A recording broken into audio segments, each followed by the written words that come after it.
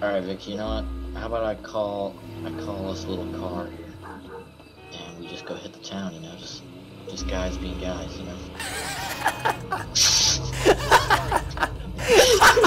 My car. Uh,